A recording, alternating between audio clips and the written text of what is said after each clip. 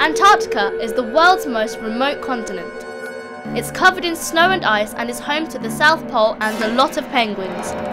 It's also the coldest, driest, and windiest place on Earth. So why have we come to Cambridge to find out about it? Because this is the British Antarctic Survey.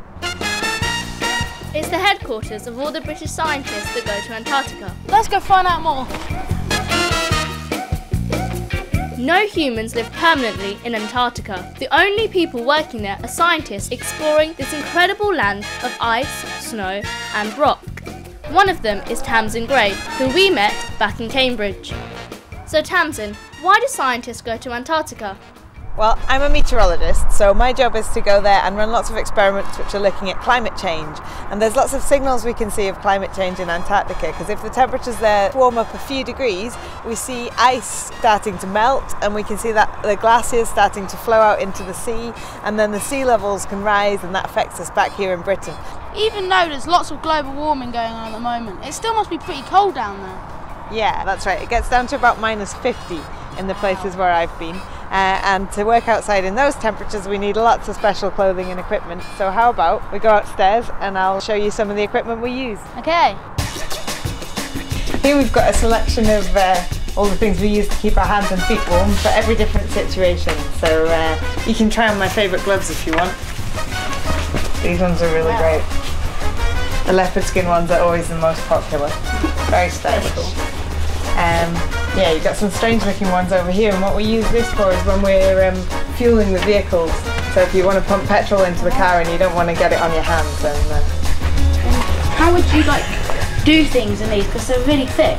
yeah, they're really difficult to do fiddly things so we maybe take another pair and, and wear those underneath and then uh, you can do your fiddly job and kick, stick your hands straight back in there and uh, then they warm up really quickly.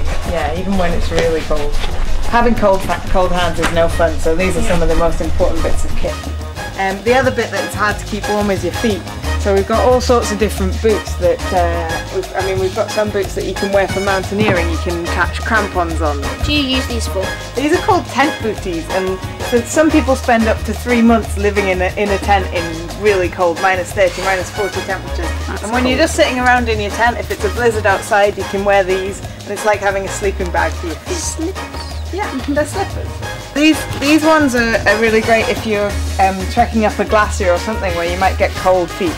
So these these are for really serious. Um, maybe for some people who are trying to get information about how the glacier is flowing and how it's changing with climate change. I mean, would you like to try some of this kit on? Yeah. Might mess your hair up a little bit. So when it's really cold, you don't want to let any of your skin get exposed to the cold. So if you put this up over your face, and then uh, then if you get a nice pair of goggles like this, and then with a hat on as well, none of your skin gets cold. Can you breathe under there? And you're waterproof and windproof, which is really important because when it gets windy down there, that's when it gets really cold. Hi.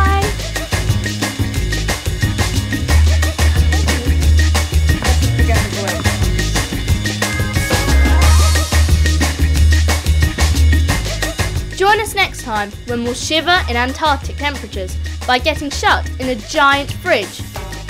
And when the ice starts melting, we travel back in time.